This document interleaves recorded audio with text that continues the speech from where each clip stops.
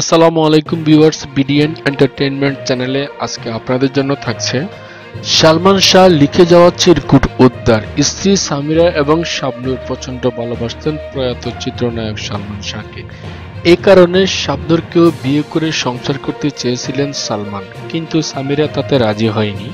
এ তথ্য উঠে এসেছে police bureau of investigation PBI এর তদন্ত প্রতিবেদনে। অন্যদিকে দেখবেন সালমানের সঙ্গে মায়ের শেষবার যে কথা হয়েছিল, সালমান শাহ মারা যান উনিশশো সালের ছয় সেপ্টেম্বর। তার আগের দিন পাঁচই সেপ্টেম্বর সালমান শাহের সঙ্গে তার মা নীরা চৌধুরীর শেষবার কথা হয়। সেদিন ছেলের সঙ্গে শেষ কথা বলার স্মৃতি এখনও স্পষ্ট নীলা চৌধুরীর কাছে। সোমবার প্রথম আলোর সঙ্গে আলোকপাতকালে সে স্মৃতি স্মরণ করতে গিয়ে আবেগে আপ্লুত হয়ে পড়েন সালমান শাহর মা। বারবার তিনি শুধু আমার ইমন আমার ইমন বলতে থাকে। একটু সময় নিয়ে নীলা চৌধুরী সেলের সঙ্গে শেষ কথা বলার স্মৃতি বলে চলেন।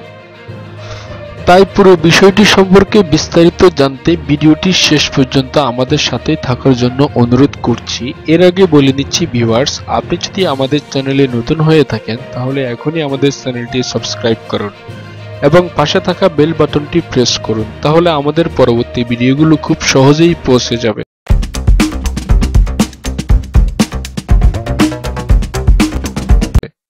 সোমবার, চব্বিশ ফেব্রুয়ারি বেলা সাড়ে এগারোটায় প্রেস ব্রিফিংয়ে এসব তথ্য জানান পিবিআই প্রধান বনজ কুমার মজুমদার। পিবিআই প্রধান জানান, সালমানের বাসায় রান্নাবান্নার কাজ করা মনোয়ারা বেগমের জবানবন্দি থেকে তথ্য জানা গেছে। মনোয়ারার জবানবন্দির বরাত দিয়ে পিবিআই প্রধান বলেন, সতীনের সংসার করতে রাজি ছিলেন না সালমানের স্ত্রী সামিরা। শাবনুরকে নিয়ে সালমান সামিরার নিয়মিত ঝগড়া হতো। ব্রিফিংয়ে বলা হয়, দ্বন্দ্বের কারণে পৃথিবীর মায়া ত্যাগ করেন সালমান শাহ। চিত্রনায়ক সালমান শাহ রহস্যজনক চলে যাওয়ার পর দায়ের করা মামলায় এখন পর্যন্ত কোনো তদন্তকারী সংস্থার প্রতিবেদন গ্রহণ করেননি তার পরিবার। প্রথমে থানা পুলিশ, পরে পুলিশের অপরাধ তদন্ত বিভাগ সিআইডি মামলা তদন্ত করে। সেটি প্রত্যাখ্যাত হওয়ার পর সালমান শাহ স্ব ইচ্ছায় নাকি অন্যভাবে চলে তা নিশ্চিত হতে আদালত বিচার বিভাগীয় তদন্ত কমিটি করে। সেটাও প্রত্যাখ্যাত হয়। এদিকে তেইশ বছর আগের লেখা সালমান শাহ সুইসাইড নোটটি আবারও তুলে ধরেন পিবিআই। পিবিআইয়ের প্রধান বরস কুমার মজুমদার এসব তথ্য জানান। সেই সময়ের একটি সুইসাইড নোট উদ্ধার করা হয়। আমরা সেটা নিয়ে পরীক্ষা নিরীক্ষা করেছি। হ্যান্ড হ্যান্ডরাইটিং এক্সপার্টকে আমরা সুইসাইড নোটটি দেখিয়েছি। উনি হাতের লেখা দেখে তা সালমান শাহ বলে নিশ্চিত করেছেন। পিবিআই প্রধান আরও বলেন, দশ সাক্ষীর একশো চৌষট্টি দ্বারা জবানবন্দি পর্যালোচনা করে একজন সাক্ষীকে অন্তত দশ বার ডেকে নিয়ে এসেছি। কারণ সেই সময়ের স্মৃতি কতটুকু তাদের মনে আছে, ময়না তদন্তের প্রতিবেদন সহ সংশ্লিষ্ট চিকিৎসক সহ সকলের মতামত বিশ্লেষণ করে প্রমাণ পাই সালমান শাহ সুইসাইড করেন। সুইসাইড নোটে যা লেখা ছিল আমি চৌ মোহাম্মদ শাহরিয়ার, পিতা কামরুদ্দিন মোহাম্মদ চৌধুরী, একশো ছিচল্লিশ বাই পাঁচ গ্রিন রোড, ঢাকা বারোশো পনেরো, ওরফে সালমান শাহ। এই মর্মে অঙ্গীকার করছি যে, আজ অথবা আজকের পর যে কোনো দিন পৃথিবী ছেড়ে চলে গেলে তার জন্য কেউ দায়ী হবে না। স্বেচ্ছায় সজ্ঞানে সুস্থ মস্তিষ্কে আমি সুইসাইড করছি। সেদিন পাঁচ সেপ্টেম্বর উনিশশো ছিয়ানব্বই সাল, নায়ক সালমান শাহ জীবিত। সেদিন সে স্মৃতি স্মরণ করে নীলা চৌধুরী বলেন আগের দিন আমি ইমনকে বলেছিলাম, ইমন, তুমি আমাদের সঙ্গে সিলেট চলো।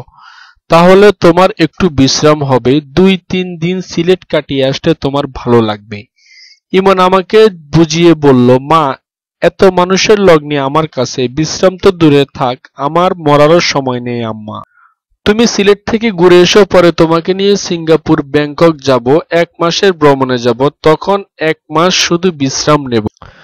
কথাগুলো এক নিঃশ্বাসে বলে টেলিফোনের ওপাশ থেকে পুপিয়ে কাঁদতে থাকেন সালমান শাহর মা নীলা চৌধুরী। বেশ কিছু সময় কথা বলতে পারেন না। কান্নাজড়িত কণ্ঠে নীলা চৌধুরী জানান, যে ছেলে আগের দিন বলে মরারও সময় নেই, সে ছেলে পরের দিন সকালে আত্মহত্যা করে ফেলে। এটা কেউ বিশ্বাস করবে? ছেলের শেষ ইচ্ছা পূরণ হলো না। এত কিছু বলার পর আমি কি ঘুমাতে পারি? ছেলেকে ছাড়া আমার ঘুম আসে না। সালমানের সঙ্গে তার মায়ের সম্পর্ক ছিল বন্ধুর মতো। সালমান তার জীবনের সব ঘটনা মায়ের সঙ্গে শেয়ার করতেন। মাকে না বলে থাকতে পারত না সালমান শাহ। একদিন সালমান শাহর হাতে পিঠে অনেক কামড়ের দাগ দেখে মা নীলা চৌধুরী জিজ্ঞেস করা, কিরে ইমন, এগুলো কিসের দাগ? সালমান শিশুর মতো মায়ের কাছে সবকিছু বলে দিয়েছিল সেদিন। মায়ের সব কথা শুনতে সালমান এই প্রসঙ্গে নীলা চৌধুরী বলেন সাদা মনের মানুষ বলতে যা বোঝায়, ঠিক তাই ছিল ইমন। কারও কষ্ট সে দেখতে পারত না। মিডিয়ায় পরিচিত সবার নিয়মিত খবর নিত। কার কি সমস্যা জিজ্ঞেস করত, সাহায্য করত। কে তারকা, কে এক্সট্রা ইমন কোনোদিন ভেদাভেদ করত না। কাউকে ছোট করে দেখেনি। একবার ইমনকে বললাম, কিরে ডলি জোহর, আমার বন্ধু, ওকে তোর ছবিতে নিস না কেন? পরে ডলিকে ওর ছবিতে নিয়েছি। অনেক গরিব মেয়ে ছিল যারা অভিনয় করতে না পারলে খেতে পারে না। তাদেরও ইমন কাজের ব্যবস্থা করে দিয়েছে। যাকে দরকার তাকে, যাকে দরকার তাকে দিয়ে ইমন কাস্টিং করিয়ে নিত।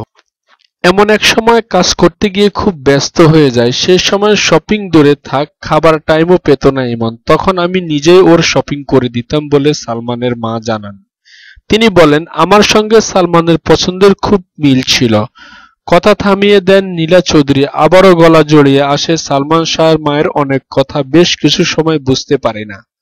শুধু এটুকু বোঝা যায়, অল্প বয়সে আমার ছেলেকে কেন যেতে হবে? কেন কিছু মানুষ তাকে হত্যা করল? কারও তো কোনো ক্ষতি করে নাই সালমান। প্রযোজকদের সব ছবি নিয়ে সমানভাবে ভাবত সালমান শাহ। নিজের ছবি দায়ভার নিজের কাঁধে তুলে নিত ইমন। প্রতিটি ছবির জন্য সালমানের কত পরিশ্রম, সেটা তার মুক্তিপ্রাপ্ত ছবি দেখলেই বোঝা যায়। সালমানের মা বলেন, মিডিয়ার কেউ বলতে পারবে না সালমানের মধ্যে এতটুকু বেয়াদবি ছিল। আমার বোকা ছেলেটা আমাকে ছেড়ে চলে গেল। সালমানের সর্বশেষ স্মৃতি নিয়ে নীলা চৌধুরী বলেন, ইমনের গলা থেকে চব্বিশ ভরির স্বর্ণের চেনটা আমি নিয়েছিলাম। সেই চেন সবসময় আমি সঙ্গে রাখি। এটাই আমার ইমন। গত চব্বিশে গত চব্বিশ ফেব্রুয়ারি পিবিআই আবারও তদন্ত প্রতিবেদন দেয়। সেই প্রতিবেদনে বলা হয়, সালমান শাবনুরের সঙ্গে সম্পর্কে জড়িয়ে আত্মহত্যা করেছে। এই প্রতিবেদন সালমান শাহর পরিবার এবং ভক্তরা নাকচ করে দিয়েছে।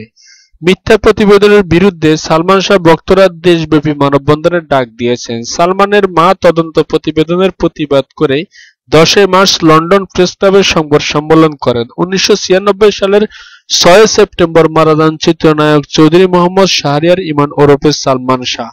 এই ঘটনা অপমৃত্যুর মামলা করেন তার বাবা। ভিউয়ার্স সালমানের হাতে লেখা চিরকুটটি নিয়ে এবং সালমানের মায়ের এই বেদনা ভরা কণ্ঠে যে কথাগুলো বলেছিলেন, সেই বিষয়টি নিয়ে যদি আপনার কোনো মতামত থাকে, তাহলে অবশ্যই ভিডিও কমেন্ট বক্সে জানাবেন। আবারও হাজির হব নতুন কোনো প্রসঙ্গ, নতুন কোনো ভিডিও নিয়ে। সে পর্যন্ত সবাই ভালো থাকবেন, সুস্থ থাকবেন।